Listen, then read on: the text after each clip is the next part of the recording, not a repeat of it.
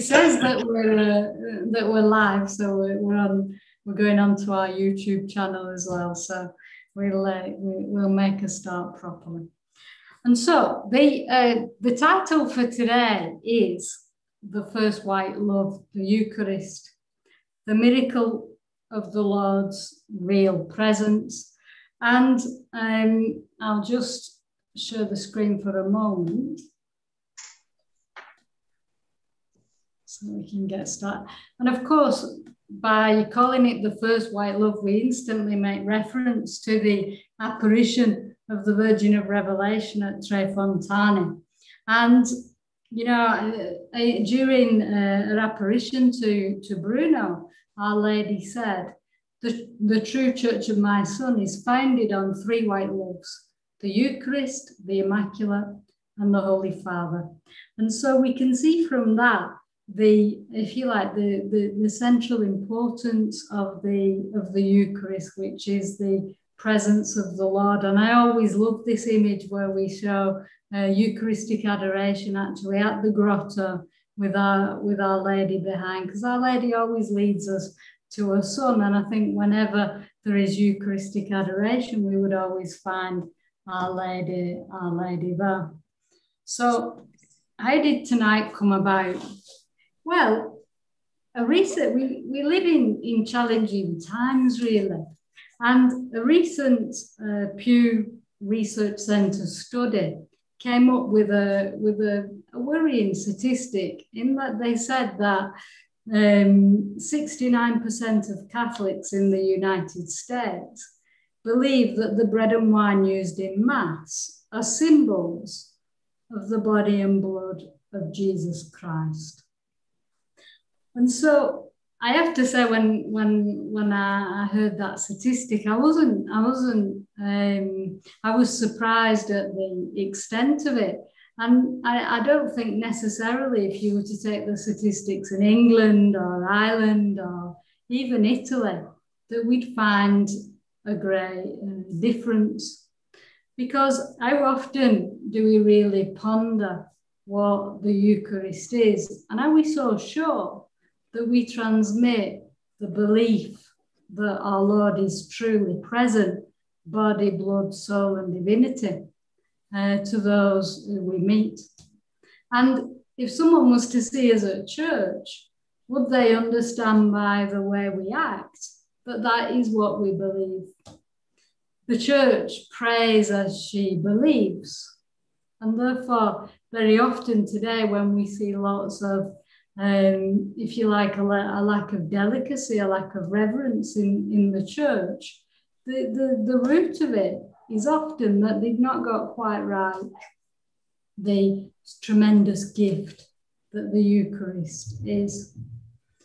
And that was even more underlined when, you know, when we were talking about preparations for First Holy Communion.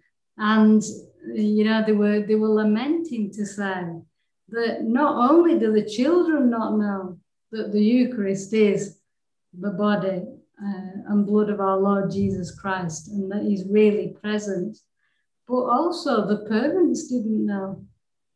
And therefore, we have a, you know, if the parents don't know, how are the children ever going to grow up with a true devotion to our Lord, really present, body, blood, soul, and divinity? In the Blessed Sacrament. And therefore, I have to say, I, I, I was always, and every time I think about it, I always feel that uh, we have to do something as a, in the name of the church, but also as a sister who, who cares about uh, souls. We, we, we're all called to be spiritual mothers. Every sister's called to that. And so I'm, I'm, I'm uh, I, I don't think we can ever talk about this subject enough. And so we have to uh, present the church's teaching uh, to, uh, to anyone who will listen, really. And so tonight, it's just really the, the opportunity to present the truth of the Lord's pre, real presence in the Eucharist in a very clear way, so that whether uh, you, you understand that the Lord's present or you have some questions, there is a situation where you where you can you can ask those questions. And so if uh, you're not clear on some aspect of the teaching, then there's also, again, the opportunity to, um, to, to ask questions and learn. And so that, you know, everybody can find something, hopefully, through what uh, I want to say this evening. Um, and so that at the end of it, we will all grow in our devotion and understanding about this very deep, wonderful, or dare I say, even shocking mystery. I say shocking because it's absolutely incredible that our Lord Jesus is present here on earth. And, and that's that's that's a shocking thing that Catholics believe. And um, you know when uh, you know we, we we're adore we're, we're, sometimes they say you you adore is idolatry, no? Uh, so shocking is this belief, and so we have to understand it uh, very well. Um, why do we believe that our Lord is present under the form of bread in in the Eucharist? And so, to help me explain this, uh, hopefully in an accessible way, I'm going to draw on the teachings from the Catechism, the writing of the saints, and also the history of the Church to talk about our Lord's real presence in the Eucharist. Now, there are many aspects when we want to talk about the Eucharist. It's an infinite subject. We could talk uh, infinitely about this wonderful, supreme gift by our Lord. But today I, I want to just concentrate on this aspect of our Lord's uh, real presence. And so we'll, we'll start. So I'll share the screen again.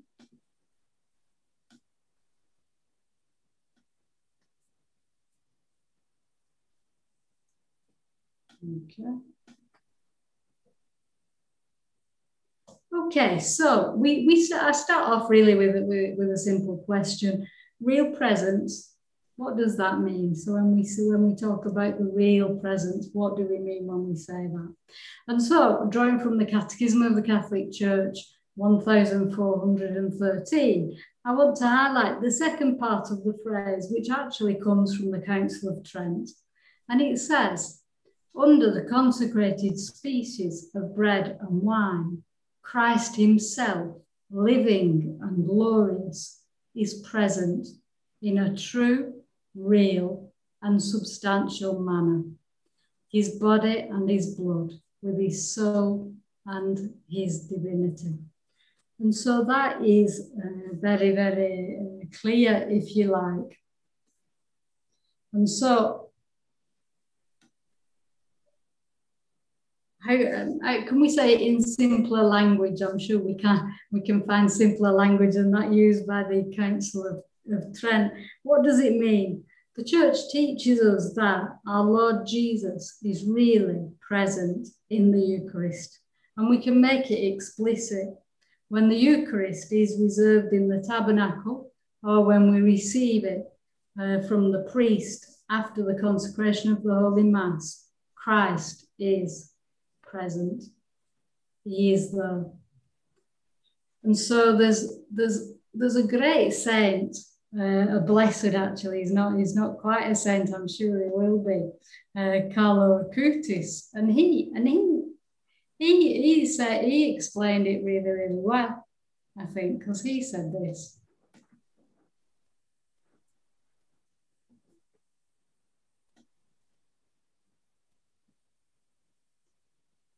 We can find God with his body, his soul, and his divinity present in all the tabernacles of the world. If we think about it, we are more fortunate than those who lived 2,000 years ago in contact with Jesus because we have God really and substantially present with us always. It is enough to visit the closest church. We have Jerusalem on our doorsteps. Jerusalem is in every church.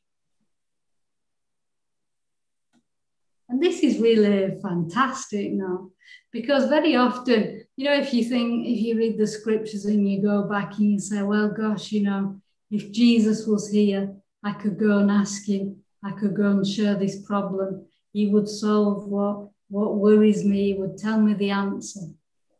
And of course, what we believe is that Jesus is really there in the tabernacle. And, and of course, or when we receive him in the Eucharist, where we come, we're united to him in communion. And so, uh, to really, Jesus is the answer to all our problems. And we can go and visit him just as if when he walked the streets of, of Galilee and he wanted, and people were asking them for healing when they were asking for his help. Jesus is as really present in the church. Now, for Carlo Acutis, this, this thought would put him on a wonderful journey that would lead him towards his sanctity. But he started a reflection and he said, My goodness, if Jesus is really there, why, why aren't the churches overflowing? Why aren't the churches packed out? Because if someone really famous came to town, would everybody try and see that person? But why don't they try and see the Lord? Do we try and see the Lord in that way? Are we conscious of his real presence? And does that form the way that we behave when we walk through the door of the church? It's fabulous, isn't it? You know, because uh, uh, we, can, we can think about how wonderful it will be to see the Lord. And when we go into, into church, of course, he's there when the Eucharist is reserved in the tabernacle. And we're even more closely united to Him when we receive Him in Holy Communion. But when we talk about presence, what do we really mean? Yeah, because obviously we, we can't see the Lord in his body when we when we go into the church. We see him under the uh, form of bread and wine. But what I want to do to try and get across the importance of this mystery is to have a little think about what we mean when we say, when we talk about presence. And, you know, today we've got an awful lot of experience of different kinds of presence, haven't we? I mean, today, you know, we're, we're joined from various parts of the world via the electronics. And we can say in a certain way we are present to each other, but not. We could even think about presence, you know, when you go to school, when, when I used to go to school, you know, they'd shout the register uh, and you'd say, present, yes, I'm here, which means I'm physically in that place, ready to listen. I am in the in the flesh, present for that situation. Or in another context, the other day I was I was uh, I, I, was half doing something else, and the doorbell rang, so I was making my way to answer the door, and uh, there was one of our old ladies in the in the old folks home in the corridor, and I didn't even really acknowledge it because I had two things on my mind and I had to answer the door quickly. And at the end, she stopped me and she said, You didn't say hello. And in that moment, yes, I was physically present. We were in the same corridor, but I obviously wasn't sufficiently present to that, to that lady such that she felt that uh, I was giving her the attention that perhaps she needed. And so, what we learn from that is presence is not just a physical thing. You can be physically there, but not, as I was the other day with, with, with our friend. A person is not only matter, we are body and soul. And so, you know, we can have another example. Someone lives in another part of the country or in another, even in another country you love that person, you're thinking of that person. In a sense, when you do that, they are present in your life. You bring them into your life by thinking about them. But that's not what we would call a, a, real presence. But instead, we know the real presence when we experience it.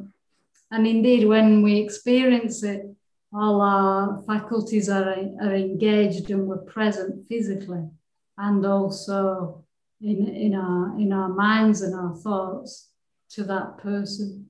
And so presence is a hard thing to, uh, to talk about, to describe, but you, it's something that we're aware of.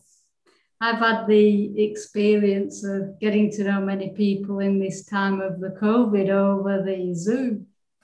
But you don't know them the same way you know them when you finally meet them in person.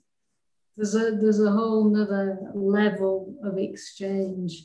There's a whole nother level of communication that goes on.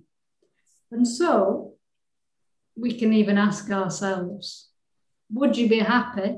You can see your loved ones over Zoom. Would you be happy with that kind of a relationship forever? And I think everybody would reply, "Oh, absolutely not. We've had enough of the Zoom. We want we want to see people. We want that that communication." And so when we talk about presence, we talk about really being there, and it's exact, and you know it when you experience it, and it's about being there in person with your heart and your mind. And therefore, when it's about, if you like, really encountering that person who is there. And so when we talk about our Lord's real presence, we talk about our Lord being really there, ready to encounter us, ready to welcome us, ready to listen to us, and there's something that must go on for that, that to work. We have to be present to Him too. We have to tune in, if you like, so that we know that we are entering His presence. For example, when you enter a church, do you attune yourselves to the fact that you are going to greet our dear Lord in the tabernacle? And indeed, the, the sisters before we enter the, the chapel to pray uh, the divine office, we have something called stadsel, where we stay outside the chapel for five minutes to prepare our minds and hearts for this meeting with the Lord so that we can pray in his name and relate to him properly, to be truly present in the prayers that we will say in his name. So we pray through Jesus to the Father. Um, and so this is uh, this is important. And indeed, the words of Saint Alphonsus, when Saint Alphonsus wrote many beautiful things about the Blessed Sacrament and our Lord's true presence. And he says this wonderful prayer, which starts off just like this My Lord Jesus Christ, who, because of your love for men, remain night and day in the Blessed Sacrament, full of pity and love, awaiting, calling, and welcoming all who come to visit you. And so this presence is so real that our Lord awaits us. He's glad to see us. It's as if we're the only person in the world when we when we enter. He's always present to us. And are we always present to him? He is physically there for us. And He has got so many gifts to bestow on us. And He wants only our, our attention. And so, with that, hopefully, that's given you a few things to, to ponder. And so now I'd like to go on to the, to the next question that is how is it possible for Jesus to be really present in the Eucharist. And this, if you like, is the is the heart of the of the teaching of the church. And so as we go forward.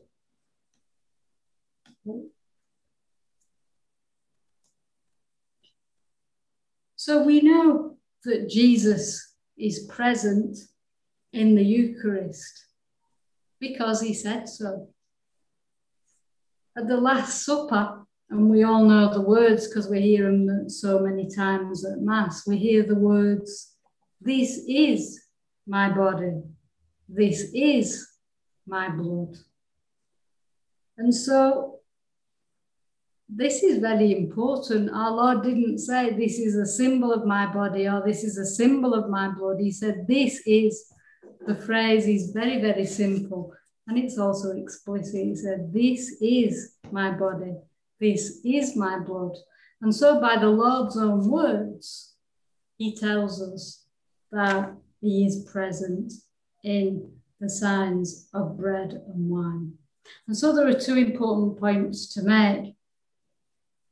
Firstly, we believe that Jesus is the Word made flesh, God made man.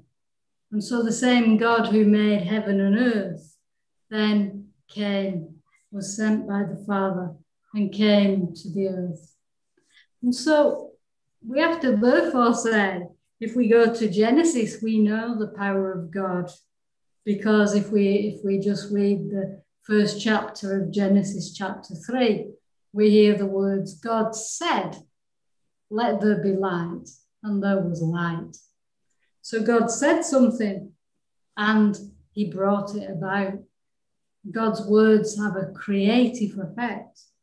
God has the power to do anything in heaven and on earth. And what he says, he accomplishes.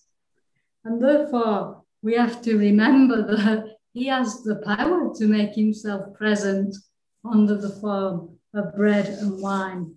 And therefore, he, may, he can make himself truly present in the Eucharist. And so, the first reason that we must believe that this is true is because God himself said it. And indeed, St. Cyril in the early church says, Do not doubt whether this is true but rather receive the words of the Saviour in faith. For since he is the truth, he cannot lie.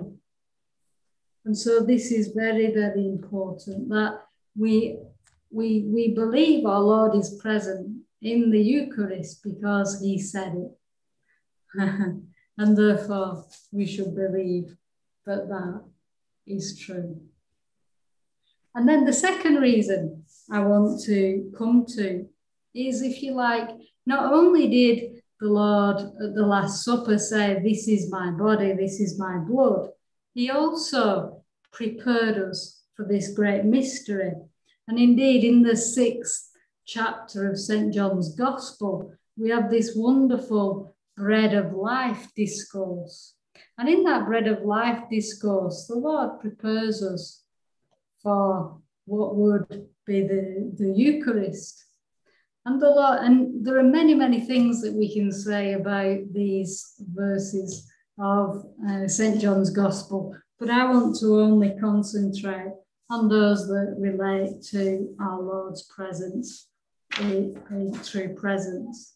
And so the Lord declares, so just to just to put it a little bit in context, we've had the miracle of the feeding of the 5,000. And then many people have been following the Lord because they're impressed by that, that same miracle. And so the Lord in the end says, You're only following me because of that miracle, not because, uh, because you, you believe. And so in the end, there's this great discourse on the bread of life. And the Lord says, I am the bread of life. Your fathers ate manna in the desert, and they are dead. But this is the bread which comes down from heaven, so that a person may eat it and not die. And then the Lord went on, He says, I am the living bread which has come down from heaven. Anyone who eats this bread will live forever. And the bread that I shall give is my flesh for the life of the world. Now, here you have uh, an explicit reference. The bread that I shall give, the Eucharist, is my flesh for the life of the world. Now, naturally, a first century Jew would have found that very, very difficult because in the book of Leviticus, it was forbidden to eat the, uh, the, the flesh uh, and blood of animals. And so uh, the Jews then started arguing amongst themselves how can this man give us his flesh to eat? So instantly, Jesus is aware that this is a difficult teaching.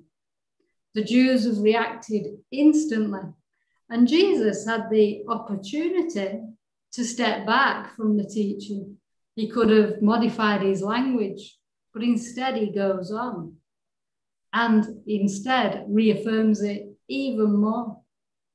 So in the next lines, he says, Jesus replied to them, In truth, I tell you, if you don't, do not eat of the flesh of the Son of Man and drink his blood, you have no life in you. Anyone who does eat of my flesh and drink my blood has eternal life, and I shall raise that person up on the last day. For my flesh is real food, and my blood is real drink.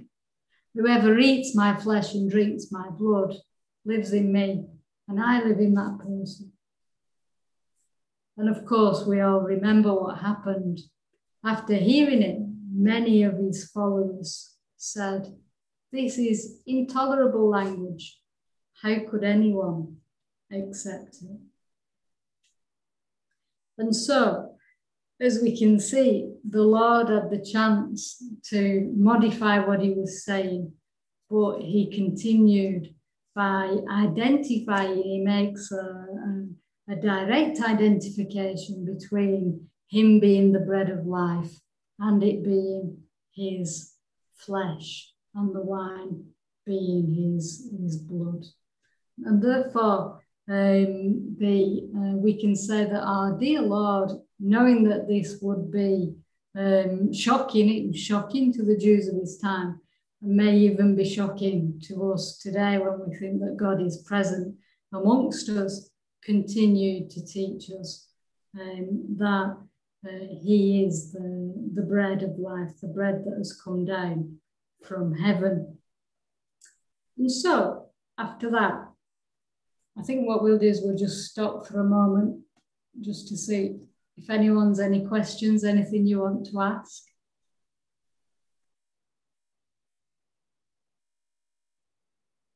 Okay, is that is that quite clear?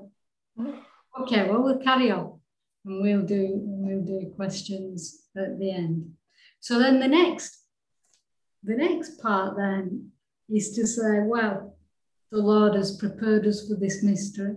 And then there was, of course, the Last Supper, where he instituted the sacrament, he instituted the Eucharist. But how do we understand how the Lord is present under the form of bread? How is it explained? And so, for that, we turn really to the teaching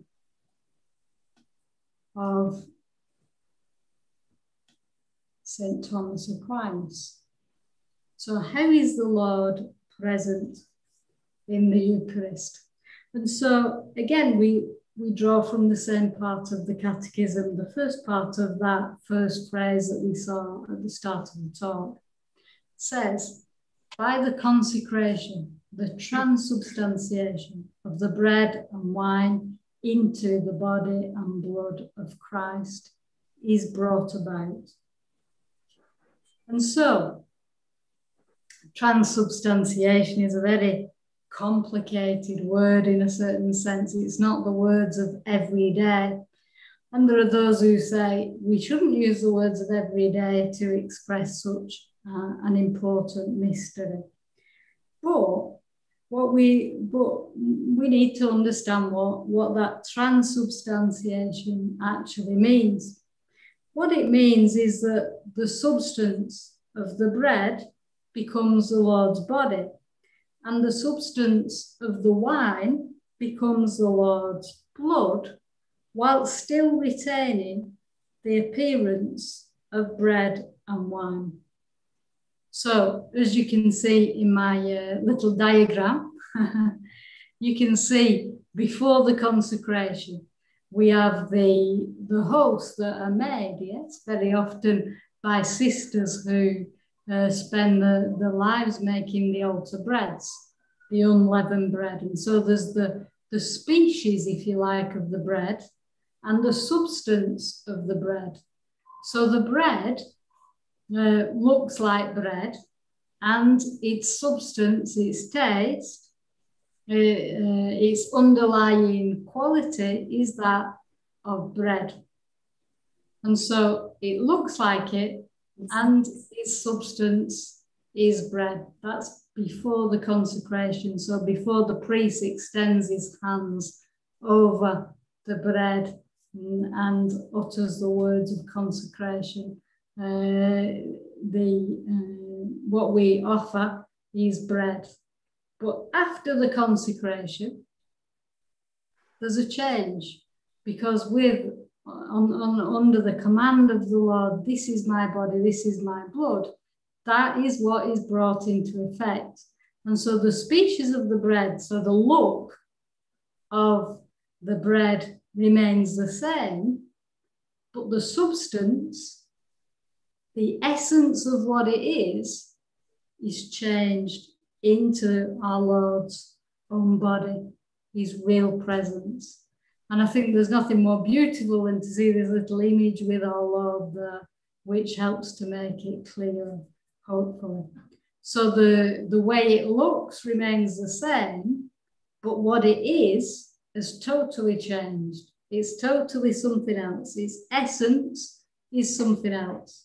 And so, and so the same with the wine. The wine continues to look like wine, but after the words of consecration. This is my blood. The wine has become the blood of the Lord. And so we, we are, are told, and the Catechism says, the Eucharistic presence of Christ begins at the moment of the consecration, and his presence endures as long as the Eucharistic species subsist. So, as long as the Eucharistic uh, species exists, our Lord is present. And therefore, the hosts which are not consumed during the Holy Mass and are held in the tabernacle, our Lord is present in the uh, then in the tabernacle. And so, the the next part, um, you can see uh, you can see that the next part of the teaching is that the whole Christ is present in every Eucharistic species and every part. So, the Catechism says Christ is present, whole and entire, in each of the species, and whole and entire in each of their parts, in such a way that the breaking of the bread does not divide Christ. And I think the image makes it very clear what we're trying to get across. So when you break, when the priest breaks the host, the whole Christ is, is the in both parts. And so this is what we mean when we say our Lord is truly present. He is there. Now then, obviously in heaven, he resides um, under the, he, he, has the, the form of uh, his body, but after the consecration, he's present under the form of bread in the Eucharist by a miracle that God can bring about because of his own authority. He said that that is so. So there are things to underline because very often today there's lots of confusion and they say, no, the Eucharist is just a symbol. No, it's not. It's the real presence of the Lord. The Lord did not say, I am symbolically present. He said, This is my body, this is my blood. This is no symbol. It's not enough. Um, it is the real presence of the Lord. And something else which is often useful to, to, remind, to remind ourselves the fact that our Lord is really truly present in the Eucharist was never seriously doubted until the 11th century. And then, of course, more, more definitely during the Protestant Reformation. But all the early fathers of the church, from the apostles, the fathers of the church, they all believed in the real presence of the Lord in the Eucharist. And there are many beautiful phrases by the fathers of the church who expressed this beautiful belief. And so um, that the Eucharist is only a symbolic presence of the Lord um, came in by Berengarius of, Tours, of Tours, and that was refuted by Pope Nicholas II, who called a synod in 1059. Then we go on to the time of Luther, and this, uh, this era creeps in. And this is what we, we hear more, more frequently today that the, the Lord is only a symbolic presence. No, our Lord is truly present. A symbolic presence is not enough when we read the, the scriptures. And so the essence, the St. Thomas Aquinas did a wonderful job of explaining in philosophical language something that is complicated to understand, and that's the transubstantiation. And so that is the Catholic view that the, the, the bread looks like bread, it tastes like bread, but its substance, its essence is changed by the power of God. And so we have this wonderful uh, phrase, uh, 1381 in the Catechism says, that in this sacrament are the true body and blood of Christ. His true blood is something that cannot be apprehended by the senses, says St. Thomas, only by faith, which relies on divine authority. For this reason, uh, in a commentary on Luke, uh, St. Cyril says, Do not doubt whether this is true, but rather receive the words of the Saviour in faith. For since he is truth, he cannot lie as I said before. And then there's that wonderful Eucharistic hymn, as we know, St. Thomas Aquinas was given the job of writing the liturgy for the Feast of Corpus Christi. And we've got that Adoro Te Devote. And in that hymn, in that Eucharistic hymn, St. Thomas very aptly says, sight, touch, taste, fail to perceive you. By hearing alone, you are securely believed. So by hearing the priest's words, we believe that our Lord has come present in the Eucharist, really and truly present. So we have, this is a march, this is a journey of faith. We have to use our faith in order to access the fact that our Lord is truly present in the tabernacle and so this is very good because it teaches us to be as obedient to the word of God as Our Lady. We have to believe what our Lord says and we have to show and act uh, that shows that we believe it. And so therefore, when we when we go into the church, we reverence the Blessed Sacrament, believing fully, as fully as we can, that our Lord is present. If we don't believe, if it's a struggle, oh Lord, help my unbelief. And so we pray, we ask our Lord to help us to understand it even more. Now, then, what I want to do, rather than stay on the philosophical part, is to say, well, let's have a look at some of the way, some of the miracles that has shown our dear Lord's presence. Because whenever the faith decreases in the Eucharist, the Lord has always sent miracles and there's been some astounding miracles. And so I just, um, Carlo Acutis wrote about all the um, all the Eucharistic miracles that have been approved by the church and placed it in a book. Uh, I have to say it's a fantastic book, and anybody who has doubts about our Lord's presence should read that book because there is something in every miracle to help an aspect of our faith. And so I've picked a few uh, a few of mine which should illustrate um, with the miracles some of the things that I've said this evening. Not that the miracles prove what we've said. We, the, the Lord has taught it, the church has, has been there and has said this for, for many centuries, and therefore that is enough.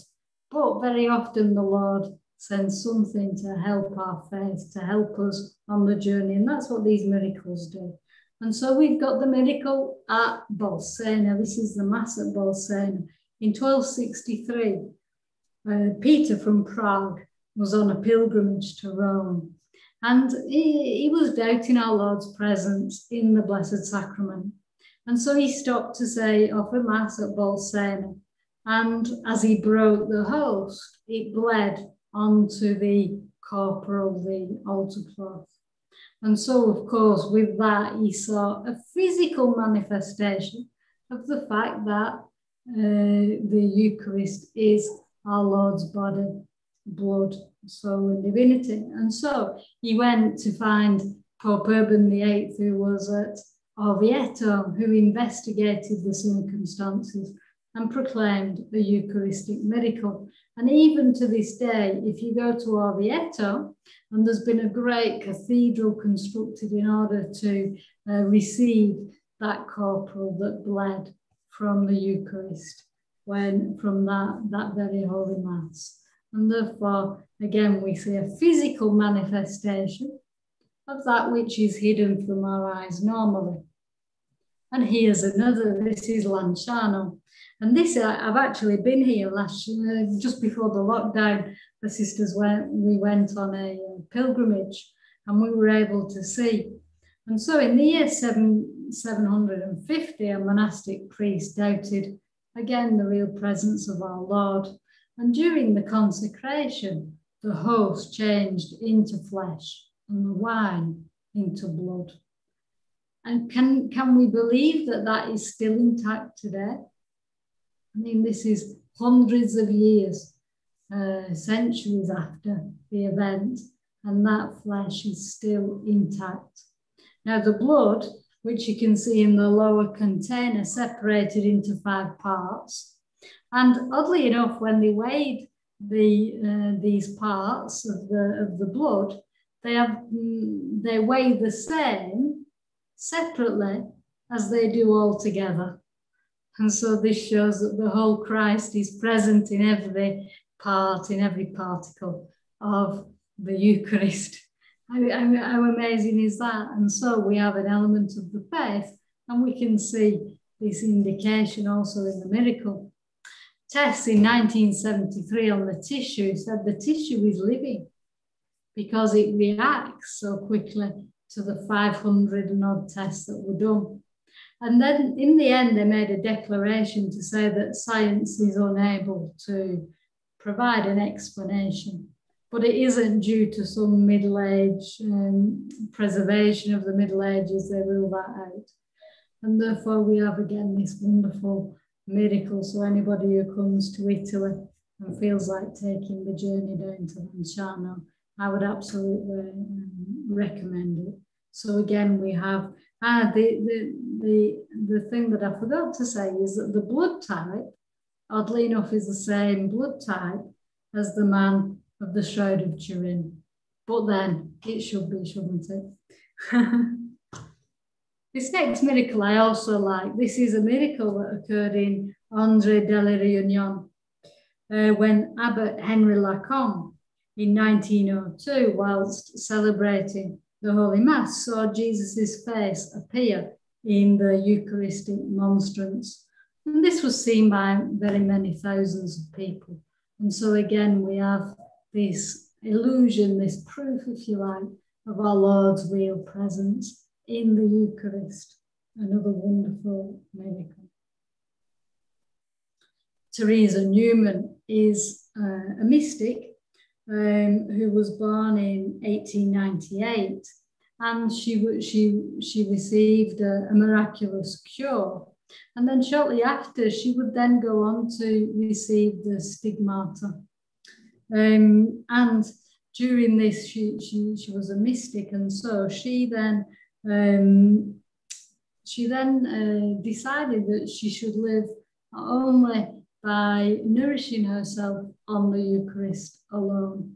And so this, this mystic spent over, I think it's over 50 odd years, nourished only by the Eucharist.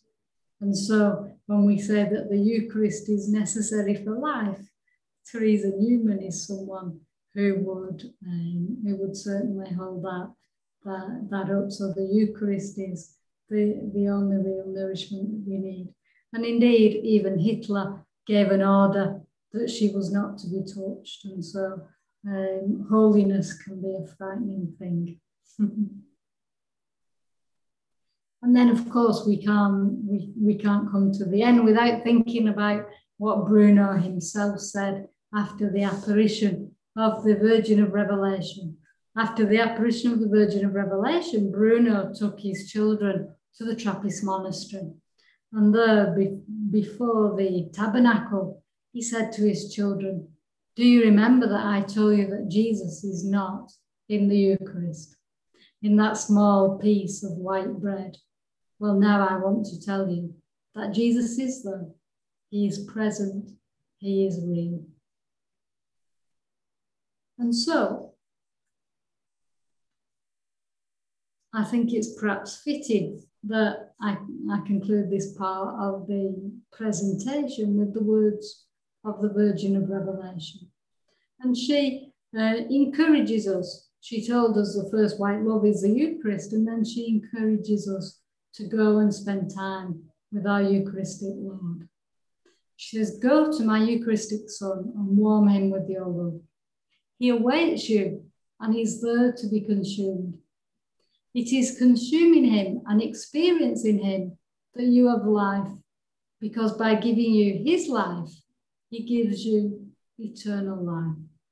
Meditate on this knowledge, and you will understand it by meditating on the Word of God, the Word of life. Live the sacraments, practice the virtues, and always love and forgive each other in love and charity.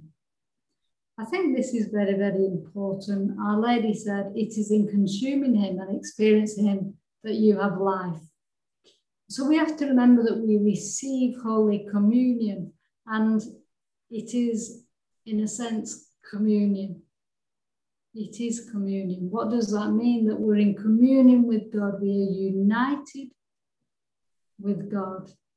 And therefore, we have to receive Holy Communion. But for that, uh, for us to receive it properly, we have to also, there, there also has to be truth. We have to also acknowledge in truth that our Lord is present. And then that communion is ever more full, and we're able to receive more gifts from our Lord. And so our, our Lady speaks about this very deep communion from each of us. And indeed, the saints, what did they say? Saint Irenaeus, you know, it's not, it's not, you know, when we eat normally, the food that we eat is transformed into our body. But uh, Augustine said it the other way around. It is not you who uh, is not God who is uh, brought, made into you, but you are made into God. And therefore, by through Holy Communion, we are united we, um, we go on the way of holiness in a special way with our dear Lord. And therefore, it's important that we experience the Lord in the Blessed Sacrament. It's important that we have a relationship with the Lord in order to understand His real presence. Who can really explain this wonderful gift? Who can explain the mystery of our Lord, that our Lord awaits for us in the tabernacle and is there?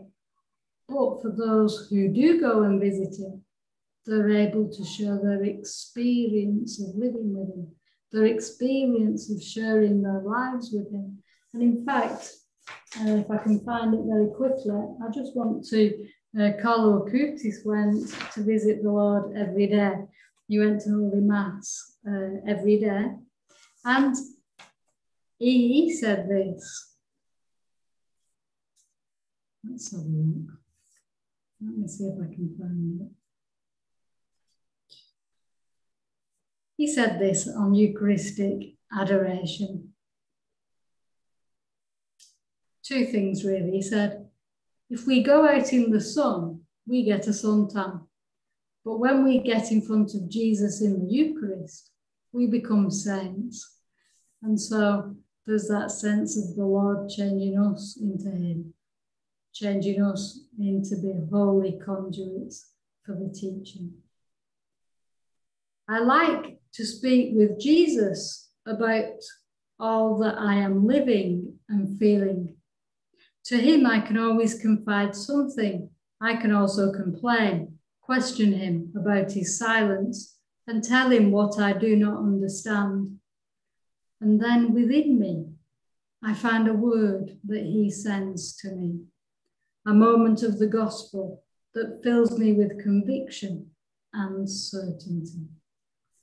And so, in the, in the words of, of Carlo, we're encouraged in our faith to, to draw closer to our Lord, to grow uh, to a greater appreciation of His presence in the Blessed Sacrament.